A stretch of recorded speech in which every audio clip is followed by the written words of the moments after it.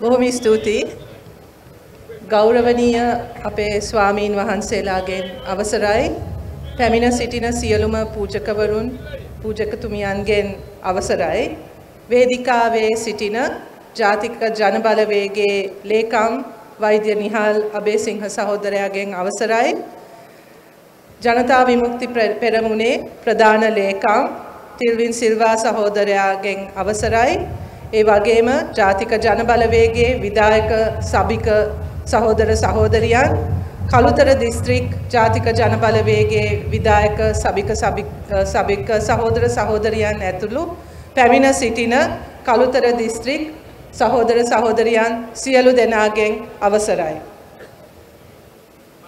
අවුරුදු හතරකට විතර ඉස්සර මට මතක විදියට අවුරුදු හතරකට විතර ඉස්සෙල්ලා මම දේශපාලන ජීවිතයට ඇතුල් වුණ කාලේ පාර්ලිමේන්තුවට පත් වෙලා මං කරපු කතාව පාර්ලිමේන්තුවට පත් වෙලා මම අලුතෙන් පාර්ලිමේන්තුවේ ඉන්නකොට මං මොකක් හරි රැස්වීමක එහෙම නැත්නම් කොට්ටාස සභාවක් හදන වෙලා මට හරියටම මතක නැහැ මොකක් හරි අවස්ථාවක මං කතාවක් කරා.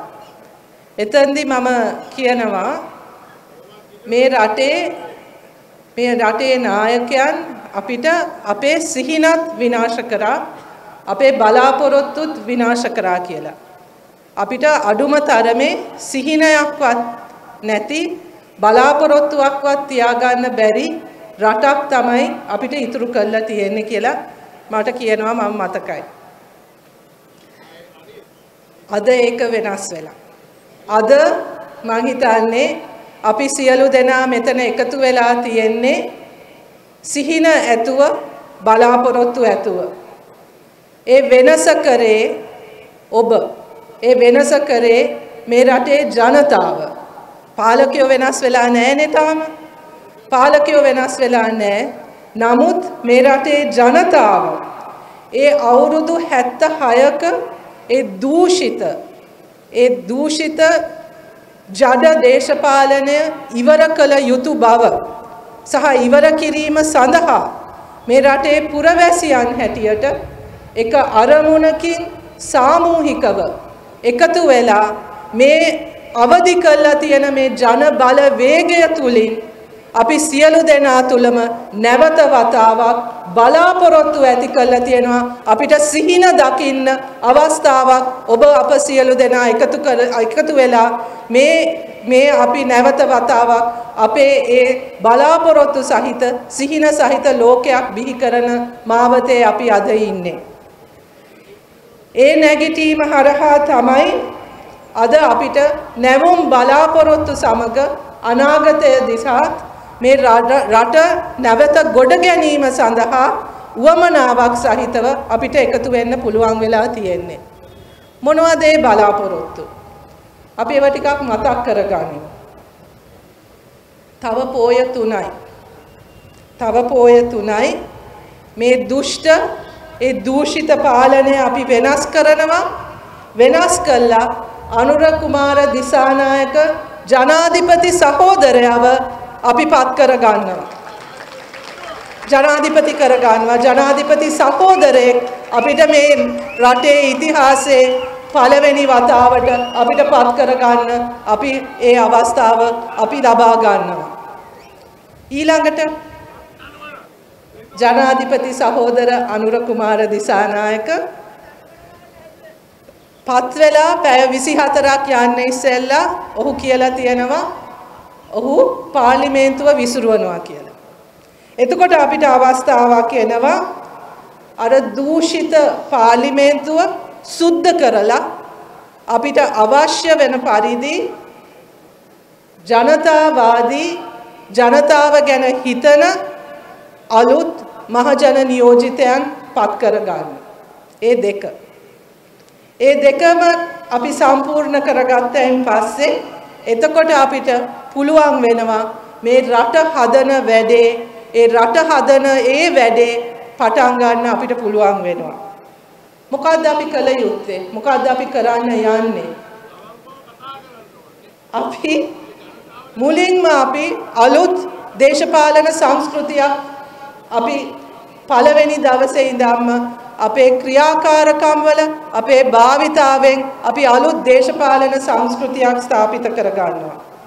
දේශපාලඥයාගේ සීමාව තේරුම් ගන්න දත්ත විද්‍යාව මත ජනතාවාදී ජනතාව පෙරදැරි කරගත්ත ජනතා කේන්ද්‍රීය ප්‍රතිපත්ති හදන දේශපාලන සංස්කෘතියක් අපි ආරම්භ කරනවා. දේශපාලනය කියන්නේ තමන්ගේ වරප්‍රසාදවලට කෑදර කමින් ඉන්න තමන්ගේ පුද්ගලික න්‍යාය පත්‍රය වෙනුවෙන් වැඩ කරනවා වෙනුවට ජනතාවට අවංකව සේවය කරන දෙයක් බවට අපි පරිවර්තනය කරනවා. ජනතාවටත් සේවය කරන ජනතාවට වග වෙන ආණ්ඩුවක් රාජ්‍ය යාන්ත්‍රණයක් අපි පත් කරනවා. ඒ යාන්ත්‍රණය හරහා ඒ අපි අලුතින් නිර්මාණය කරන ඒ අලුත් බලාපොරොත්තු එක්ක ඒ රාජ්‍ය යාන්ත්‍රණය තුල ඒ සාමූහික ප්‍රතිපත්ති වලට වැඩ කරන ඒ ඒ නිලධාරීන් සමග ඒකට නායකත්වය දෙන ඒ දේශපාලන නායකත්වයත් සමග අපි ක්‍රමානුකූලව මේ රට නැවත වතාවක් ගොඩ නැගීමේ ඒ පුනරුද යුගය අපි ආරම්භ කරනවා. අපිට අවශ්‍යයි අලුත් ආර්ථික ක්‍රමවේදයක්. ජනතාව කේන්ද්‍රීය කරගන්න ජන සහභාගිත්වය ලබා ගන්න ආර්ථිකයක් අපිට අවශ්‍යයි. අපේ නිෂ්පාදන අපේ බ්‍රාන්ඩ් හා සේවාවන් නිෂ්පාදන ධාරිතාව වැඩි කරන ආර්ථිකයක් අපිට අවශ්‍යයි. ඒ සඳහා අවශ්‍ය ප්‍රතිපත්ති ඒ සඳහා අවශ්‍ය වන ඒ දත්ත ඒ විද්‍යාත්මක පර්යේෂණ අපි කරන්න පටන් ගන්න ඕනේ. ඒක වෙනුවෙන් තමයි අද උදේ මම හිතන්නේ ලංකාවේ පළවෙනි වතාවට එවැනි විද්‍යාඥයන් සංඛ්‍යාවක් එකතු වෙලා මේ රටේ මේ රටේ සංවර්ධනයට අවශ්‍ය ඒ පර්යේෂණ මොනවද කියලා සාකච්ඡා කරන්න අපේ පර්යේෂණ ප්‍රතිපත්තිය අපි අද උදේ එළි දැක්වුවා. එතකොට මේ ආර්ථිකය තුල අපි සියලු දෙනාගේම සහභාගීත්වය ලබාගෙන සියලු කාවවත් මග නොය මගාරින්නේ නැති කාවවත් අතාරින්නේ නැති ශක්තිමත් ආර්ථිකයක් අපි ගොඩනගනවා. විශේෂයෙන්ම මේ රටේ 52ක් වන ගැහැණුන්ට තමන්ගේ සුරැකුම් වැඩවලට වටිනාකමක් දෙන ඒ සුරැකුම් වැඩවලට සමාජ වටිනාකමක් දෙන සමාජ වගකීමක් අරගෙන තමන්ට රැකියාව නිදහසේ කරන්න පුළුවන් වෙන ඒ සුරැකුම් වැඩවලට රාජ්‍ය මැදිහත් වීම තුලින් ඒ සුරැකුම් වැඩවල බර අවම කරමින් ඒ හදන ව්‍යුහය තුල කාන්තාවන්ටත් මේ රටේ ආර්ථිකයට සමාන කොටස්කරුවන් වෙන්න පුළුවන් ආර්ථිකයක් අපි ගොඩනගනවා. ඒ ආර්ථිකයේ ප්‍රතිලාභ අපි සියලු දෙනාටම සාධාරණව භුක්ති විඳින්න පුළුවන් විදිහේ ක්‍රමවේදයක් අපි නිර්මාණය කරනවා. ඒ සියල්ලම කරන්න අපිට අපේ මානව සම්පත රැක ගන්න ඕනේ. ඒ මානව සම්පත රැක ගන්න නම් අපේ මහජන සේවාවන් අපි ආරක්ෂා කර ගන්න ඕනේ. අපේ මහජන සේවාවන් තුලින් ජනතාවට සේවයක් වෙන ජනතාවට විශ්වාසයක් ඇතුවේ මහජන සේවාවන් ලැබෙන ලැබෙන විදිහේ ඒ පරිවර්තනයක් අපි කරගත යුතුයි.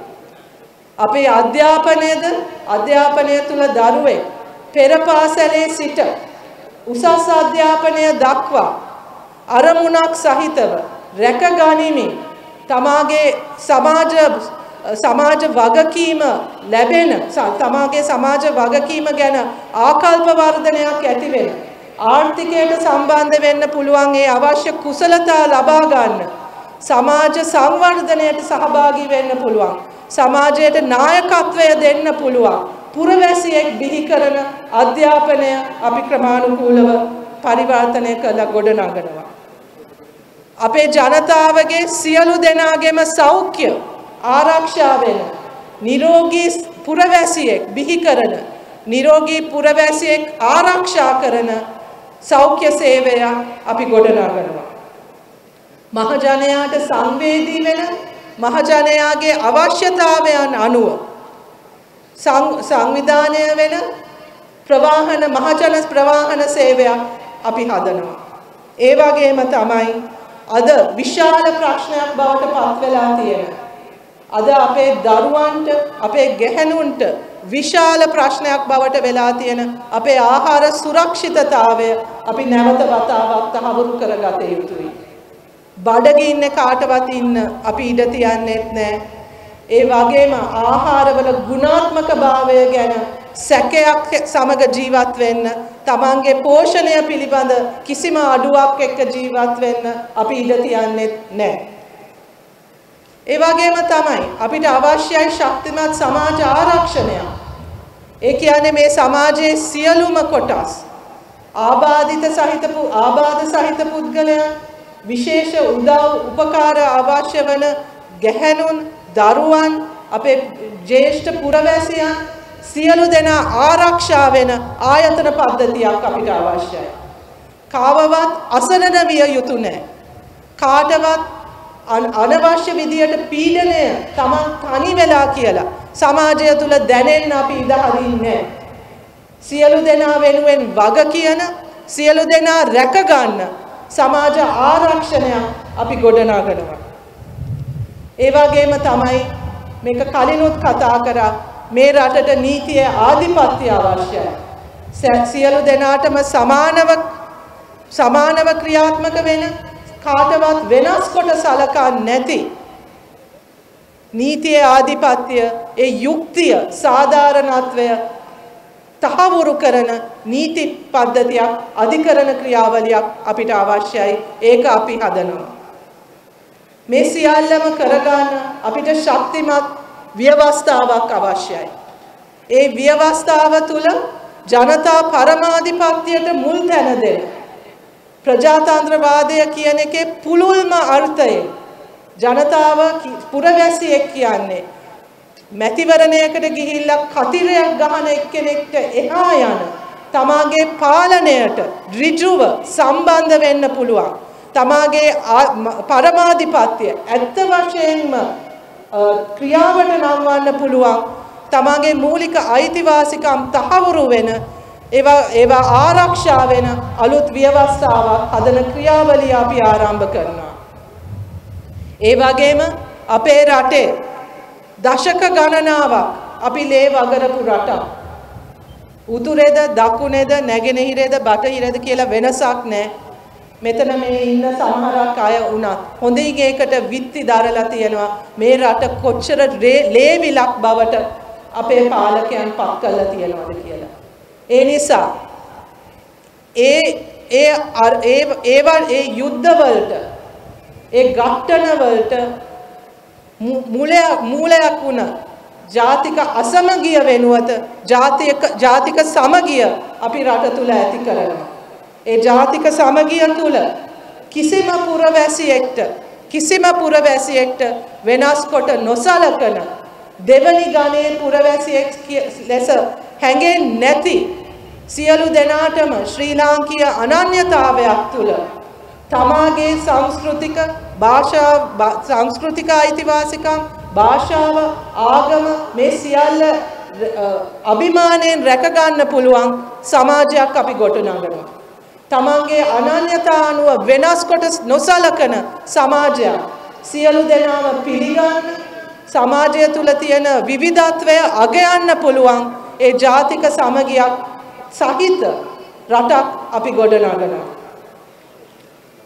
එතකොට අවසාන වශයෙන් මට කියන්න තියෙන්නේ මේ මේ අපි බලාපොරොත්තු වෙන මේ පුනරුදය මේ මේ ගැඹුරු සමාජ පරිවර්තනය කියන්නේ ඇත්ත වශයෙන්ම ජනතාවගේ යුගය ආරම්භ වෙන කාලයක්. අපි මෙතෙක් කල අපේ ඉතිහාසය දිහා බලනකොට අපි 2500 අපේ ඉතිහාසයක් ගැන කතා කරා. අපි නිදහසෙන් පස්සේ අපේ අවුරුදු 76ක ඉතිහාසය ගැන කතා කරත් අපිට කියවන්න වෙන්නේ අපිට අහන්න ලැබෙන්නේ හැමතිස්සෙම පාලකයන්ගේ පැත්තෙන් ඒ ඉතිහාසය. ඒ ඉතිහාසයේ වීරවරියන් වීරවරුන් බවට පත් වෙලා තියෙන්නේ පත් කළා තියෙන්නේ පාලකයන් එහෙම නැත්නම් ප්‍රභූ පැලැන්තියේ අය. අපිට රජ්ජුරුවන්ගේ කතා අහන්න පුළුවන්. සිටුවරයන්ගේ කතා අහන්න පුළුවන්. ජනාධිපතිවරුන්ගේ කතා ඇහෙනවා. අගමැතිවරුන් ගැන අපි දන්නවා. ඇමතිවරු ගැන දන්නවා.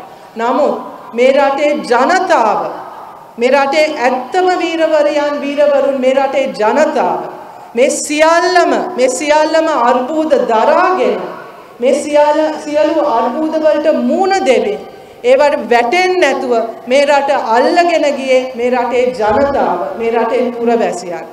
නමුත් අපිට මේ පුරවැසි ඉතිහාසය ගැන අහන්න ලැබෙන්නේ නමුත් මේ පුනරුද යුගය තුල අපි ලියන්නේ පුරවැසියන්ගේ ඉතිහාසය. ඒ ලිවීමේ අයිතිය පුරවැසියන් ලබා ගන්නවා. 2024න් පස්සේ අපි ආරම්භ කරන්නේ පුරවැසියන් බාර ගන්න පුරවැසියන් ලියන පුරවැසියන් නිර්මාණය කරන ඉතිහාසයක්. ඒක තමයි පුනරුද යුගයේ වෙන විශේෂිතම විශේෂිතම දේ. අර ප්‍රභූ පැලැන්තියෙන් පුරවැසි යුගයක් අපි ආරම්භ කරනවා. අන්න ඒ වෙනුවෙන් තමයි ඔබ සියලු දෙනා අද මෙතන එකතු වෙලා තියෙන්නේ. ඒකේ කොටස්කරුවන් හැටියට තමයි ඔබ සියලු දෙනා අතර අද මෙතනට ඇවිල්ලා තියෙන්නේ. ඒ නිසා ඒ පුරවැසි යුගය ඒ පුනරුදය ලබා ගැනීම සඳහා ඒක ඒක ළඟා කරවීම සඳහා ඒක අපේ එක සිහිනයක් විතරක් නෙවෙයි බලාපොරොත්තුවක් විතරක් නෙවෙයි අපේ යථාර්ථය අපේ අත්දැකීම අපේ ජීවිතය බවට පත් කරගන්න කියමේ කියලා ඔබ සියලු දෙනාටම ආරාධනා කරමින් ඒ සඳහා ඔබ සියලු දෙනාටම ශක්තිය ධෛර්යය ප්‍රාර්ථනා කරමින් මම නතර වෙනවා ජාතික ජන බලවේගයට ජය වේවා. බොහොමත්ම ස්තුතියි.